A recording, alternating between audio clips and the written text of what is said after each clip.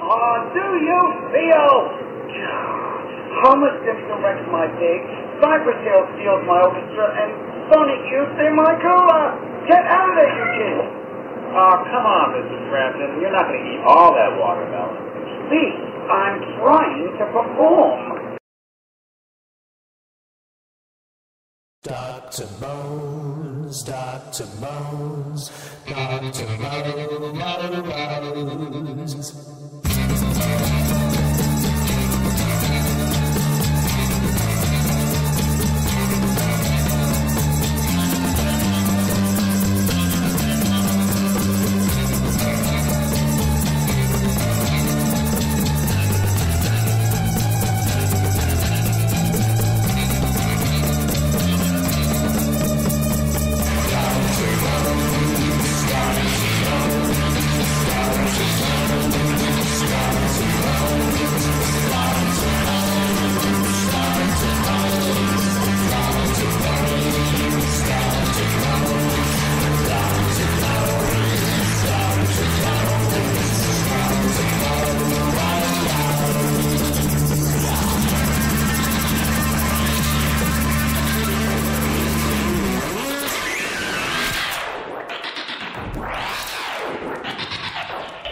This is Dr. Bones live for part two of my interview with the Gypsy Ghost with Seamus and Pat, and this time Nolan and Catherine are joining us. So they have a few questions. So guys, you can lead off. Go ahead. Oh wow! First of all, hi guys. This has been a great interview so far. Um, is Andy still on the line by any chance? No, he's Uh, not. unfortunately. Okay. Well, maybe you uh, can answer the question for me. I mean, I continue to be amazed just by how far out there you guys go tonally. I mean, it's just it's amazing, and I'm so such a big fan. Um, what he does with the vocals, I think, are just pretty astounding. Does he actually write the vocal lines, and how does he record them? Because that is just singing without a net. You know how he pulls some of those notes out. Well, he first off, he does everything in one take. in Yeah, it's kind of crazy to see him in the He, studio. he really does produce once we're in there. Yeah. Um, he lays down like a ghost vocal for our sake, and That's- and ninety percent of the time, like the ghost vocal is is capable. Like, it's it's quite awesome to watch. yeah, he's quick. Um, and yeah, he writes. He he's uh, quite good at hearing melodies that aren't there. So when when something happens, he kind of fairly quickly realizes what needs to be done, and especially for even like a lot of the the uh, the saxophone melodies are based off things that he hears. right. So he just reacts to the music then. More or less, Yeah. yeah. He's got a lot of natural sense, and uh, yeah, and his musicality is a little unorthodox because, um, you know, it's not like he's a classically trained vocalist or something. You know, he's he's very much. Uh, I don't know. It's, it's it's very it's in. If you don't know the rules, right, then Right. how can you break them, right? So he he just goes wherever he wants. That's exactly right. Yeah, I was wondering if he actually had laid down guide tracks or anything like that, but it's pretty impressive. Nolan, over to you. Hey guys, this is Nolan. You nolan. The thing that one of the things that really impresses me about your music is the level of complexity rhythmically and harmonically. Um, do you guys work off of charts or uh, demos, or how is that? How are your arrangements conveyed to the band? Um, I, I'm a chart guy personally, but uh, as far as as far as communicating with like a, a lot of these guys, like Seamus is is like my best friend as far as as musically speaking. I hate him besides music. I can't, I can't fucking stand him. like just sitting beside him drives Well, me that's nuts. mutual. But musically, it's it's amazing. Uh, We don't really have to speak much. It, it's just it works out. Um, for the most part, we just deal with like uh, kind of the form of counting parts out in stanzas, and we're all we're all pretty well versed in.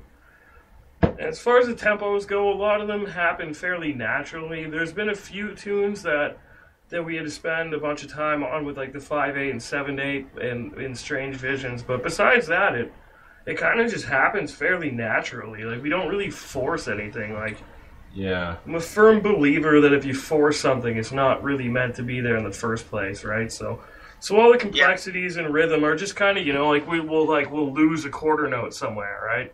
In a uh-huh. pattern, you just cut it out in total, or Yeah. add one, or you know, just stuff like that. Yeah. And I mean, technically, at that point, then you can just start adding all those. You know, if there's four bars with one dropped on the end, then you know it's like 15 4 or something if you want to think of it that way. One 12 giant bar, right? I mean, 'cause- Yeah, stanzas, kind of Right. communicating in stanzas. Mhm. That makes sense. Cool. Very nice. Brian, over to you. Okay, well, uh, my next question is actually, and then second for the second part is this goes to you, Seamus, because coming from uh, the House of Cards, from a blues rock band to the Gypsy Ghosts, who are kind of, kind of all over the map between like you know, jazz, calypso, and just uh, kind of all have your own. Now, how how have you felt that you kind of fit in and kind of given your part to this band? Uh, well, I I've been uh, kind of like the same school of thought as far as music is concerned as Andy. I feel like pretty close, and just uh, like I never like I'm a self-taught musician. Um, I've played for many years, and I've always been an avid listener. So you know, I guess I you know after so many years, you just retain so many different musical phrases that you're familiar with, and you know, I listen to a lot of jazz music. I listen to a lot of electronic, hip hop, everything. I try to take what I like from all of that and sort of combine it. So whenever there's a musical situation, I can kind of pull from it like a library, like an archive. So with this stuff, it's very it's beat driven music for the most part. So the idea a lot of the times is sometimes you got to create sort of a, a sexy, sort of delicate environment rhythmically, and it's got to be more sensitive. And then other times you need there to be a lot of energy and uh, momentum, so you have to provide some very solid. So it really boils down to a lot of good judgment, and you need good meter to play in this band, and uh, you know for it all to kind of work together. You know, now the other thing I had to want to mention as well is uh, just uh, from just checking out what background I could find on you, like i.e., like you know your House of Cards and Gypsy Code, that sort of thing. Uh, I was looking at it and just uh, talking to you, seeing you play. Uh, you remind me a lot of, and I'm I'm I'm relating this because I I read uh, uh, the Anthony Kiedis book from Red Chili Bears Scar Tissue, and remind me a lot of how Flea kind of started out with bass lines. You know, like constantly banging away, and doesn't matter what's going on. You're just kind of hammering it kind of, until you can't go anymore. And you know, and it's such a such a huge change, especially to the evolution of the band between uh, Pat's guitar styling and Andy's vocals, and you know Bobby being back where he's at, and Bruce and the whole thing. You know, it just it's it's it's, it's a nice uh, inception to the band because now you're adding that much more energy. And like we were talking about before, between Tom being an Animal, man, you, you, you match him in just your styling, so that's gonna gonna gonna make you feel good and kind of uh, give you a, a sense of uh, um, um, a sense of uh, of being, meaning like you know you belong here just because like this of what you're doing.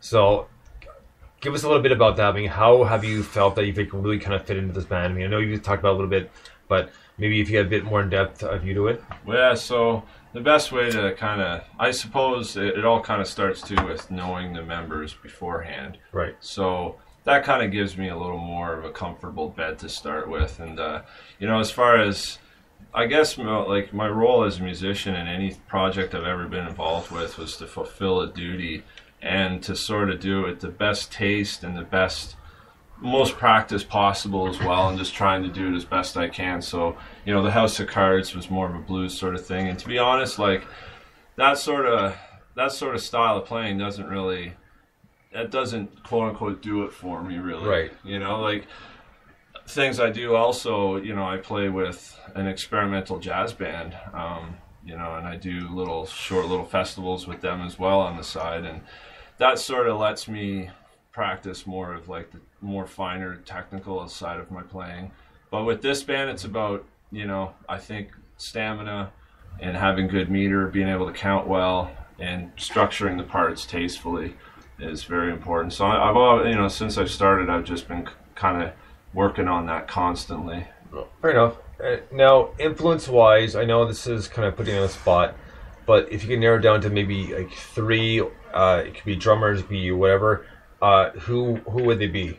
The three musicians. Uh, well, I would have to say well, to include a drummer, Steve Gadd. Um, Steve Gadd was a huge influence on me when I started playing. Uh, listened to a lot of you know stuff like Chick Corea, and Oh man, you know like all the Return to Forever records. Uh, man, so many like oh, what there's so many so many that I can say. Uh, a lot of jazz stuff, a lot of jazz.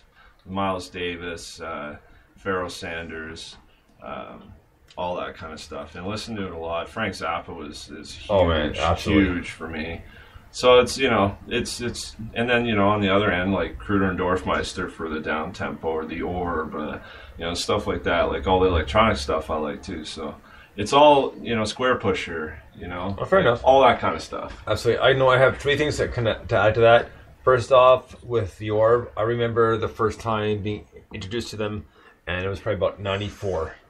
So Yeah. I was like, I kind of middle, Fluffy little clouds. yeah, middle, middle high school, right? So I remember them, and uh, it was kind of interesting you brought that up. But as far as uh, Germans go, as far as jazz goes, like Corea and that sort of thing, there is one album, and I can recommend to everybody, and it's probably one of the best jazz albums I've ever heard, and it's live. It's John McLaughlin live, yeah, but it's with Chick Corea and Pat Metheny. yeah. Oh, Holy, Metheny. Holy crap, man! That is the best album, jazz album I've ever heard in my life. Like, is such a fucking monster. Like it's just it's kind of disgusting. Well- what he what he did at 21 years old, like kind of it's just it's mind boggling. Well, what he's but- doing now too, like Mhm. His whole approach right now is crazy. He's, a, I've- he's a he's a med like uh, just a musical genius. I found that in 1996 at a at a music store. So I lived in the U.S. for a little bit, a place called Harmony House, and I was in the jazz section. Like, no way! I picked up, and I, I man, that's one of the best albums I've ever heard in my life. But uh, just just for that, uh, keeping on jazz for just one second here. The other thing I want to mention too was uh, Charlie Hunter. Charlie Hunter is probably one of uh, he, he's a young jazz guitarist. He's probably in his mid forties now, but he's a younger jazz guitarist, and he uh, plays very differently than your we'll call your your uh, your uh, regular jazz playing. Meaning like he's uh, his his uh, guitar is mixed up of uh, jazz. Oh, sorry, of uh, guitar and bass strings. But the thing that one thing is too is is he is very good friends with another person we know very well, and he played on a song. There was a, a song named after him. This was 1998. It was uh, Les Claypool from uh, Primus. Uh, the album was called Highball for the Devil. It was his first solo album, and he did a song called Me and Chuck. And the song Me and Chuck was me and Chuck and and and, and, and Charlie Hunter. And so Charlie Hunter was on that song, and man, one of the best songs ever. And it just it's it's so uh, amazing to me how small yet big the musical community is. Oh yeah, yeah. Everything kind of also to certain styles of music. It kind of works in a circle. You know, you have these collab albums like say Red Clay or something with Joe Henderson and Herbie Hancock. You know, Right. so like you find a few of these handful of musicians, and you look go and look up there. You know, you end up finding like hundreds of albums just that way, just by Well, exactly, man. the hip hop community is the same way. Producer, MC, and That's right. You just gotta have the patience to kind of, kind of look and listen, right? hmm So, guys, uh, if you don't have another question, we're gonna get to another song here. Do you guys have another question yet? Do we? Yeah. Oh, um, this is just sort of a generic question. Um, I hope this hasn't already been asked. Um, so, on this album, what was the decision-making process on how to order the songs? Or was that, That- conceptual a- from the beginning? Or That's a crazy question. We we had a lot of we flip flopped a lot. Um, at first, I was like, I, they're they're all very creepy in a sense, uh, Right. tonally like. But there's a lot of songs that are kind of they go in and out of each other quite nicely, and a lot of them are in the same key. So we were thinking about doing a bunch of overtures, kind of thing. Like we had like a bunch of stuff in the same key, like Devil Disco and uh, Sea Fever are in the same key. So is uh, Drop by Drop. So we were kind of thinking about you know like having those be seamless, and then and then at the beginning like Madman, uh, and Hellhounds all in the key as a C minor. So we kind of like tried to keep it in in it was very concept based for a lot of a lot of stuff like a lot of stuff in the album we don't play live you know like we don't do sea fever